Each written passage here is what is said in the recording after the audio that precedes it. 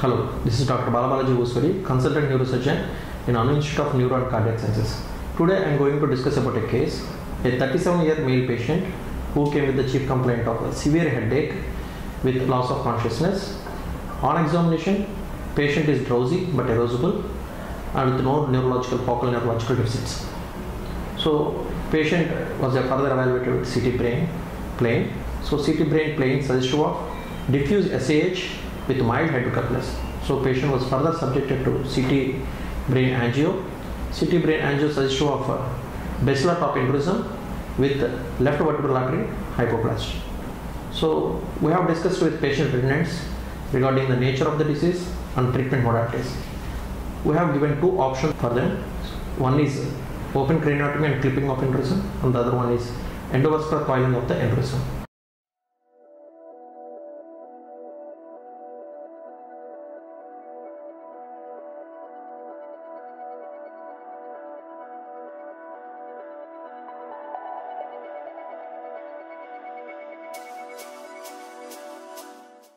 Hello, I am Dr. Sudhir Sugla. I am an endovascular neurosurgeon.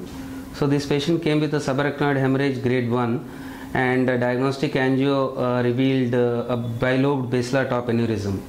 So we gave both options of clipping and coiling and proceeded with uh, the coiling procedure.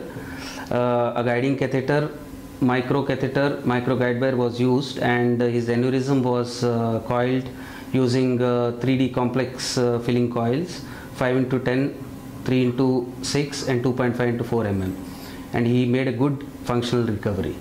Thank you నా పేరు శివనాగేశ్వరరావు అండి. రేపల్లి మాది. నేను మామూలుగా గిడ్డు కోస్తాకు వస్తే ఒకసారి బాగా headache వచ్చింది. హెడ్ఏక్ వస్తే కింద పడిపోయాను. అను హాస్పిటల్ తీసుకెళ్ళమన్నారు. తీసుకెళ్తే ఇక్కడ తీసుకొచ్చిన తర్వాత సర్జరీ చేశారు సార్. సర్జరీ చేసిన తర్వాత ఇప్పుడు పర్వాలేదు బాగుంది సార్.